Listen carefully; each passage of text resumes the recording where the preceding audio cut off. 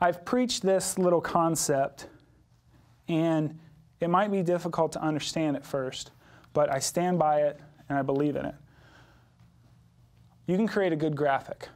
A good graphic could be anything. A good graphic could be really complicated and have all this detail. It's just really beautiful to look at. You could make a poster out of it and hang it on your wall and kind of just stand there for a while looking at all the ins and outs of this poster because it's complicated and it works for that.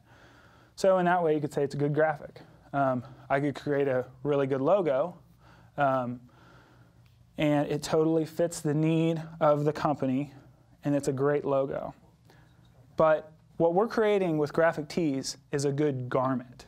Do you know what I'm saying? So overall, with the graphic on the shirt, that's a good garment. So if we're talking about the Rolling Stones Lips t-shirt, that's a good garment.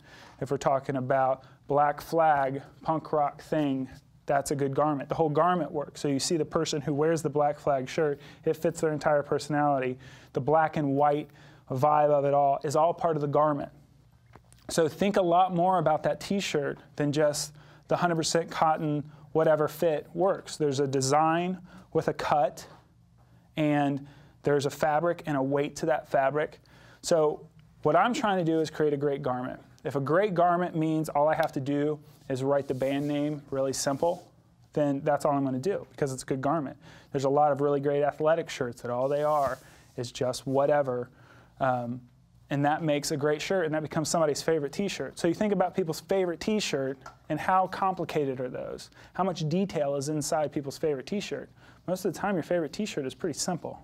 So don't feel like you need to overcomplicate what you make just to please a client or feel like, you know, show them you've done enough work. I don't care if it took me, you know, five minutes. I want to make you a great t-shirt. I want to create a classic t-shirt that's going to hang around for a long time. So I've made a lot of graphic tees. Rage Against the Machine, well, there might be, you know, there's something powerful about that. They just want to say their name strong. They're not ashamed of what they believe in. Rage Against the Machine. So it's bold, it's loud, it's in your face, and there's a vibe to it. Paul McCartney, we want to think of the nostalgia of Paul McCartney and who he is.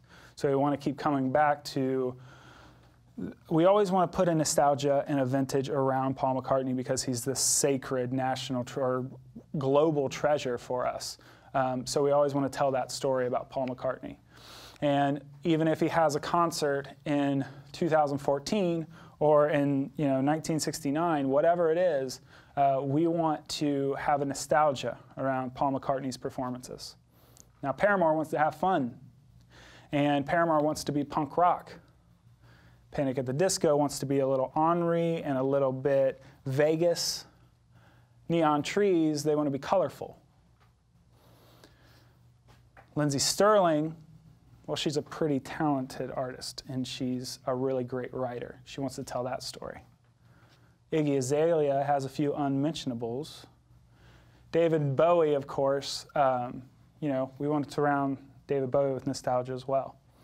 Old World Counterfeit, that gets the vibe across. That becomes more about the wearer. Marmoset's, Vancouver, it's a uh, souvenir shop type thing.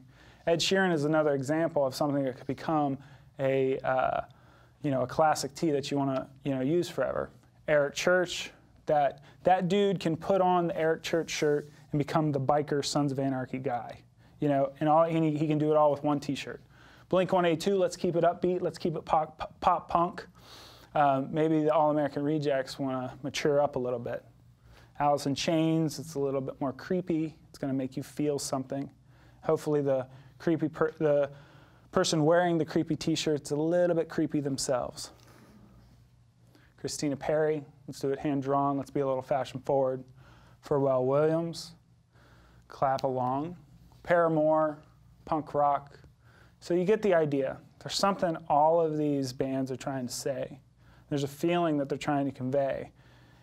And man, graphic t-shirts has just been this really great medium that I love to just nestle myself in and make all kinds of all kinds of different things. So you guys can see there's so many different ways you can make a t-shirt and so many different ways I've made a graphic tee.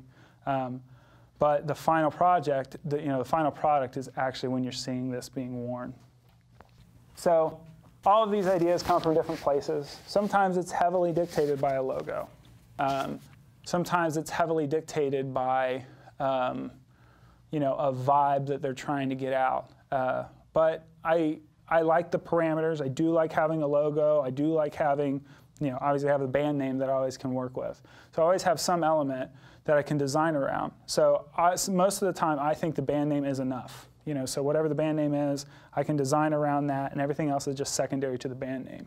So this 30 Seconds to Mars, it's not about the tiger to me. It's about just saying 30 Seconds to Mars. The, the tiger ended up being sort of a filler into uh, the way that I wanted to use the graphic. So in band tees, it's fun because um, I'm already giving the I'm already given the focal point. The focal point is the name, so I design around that.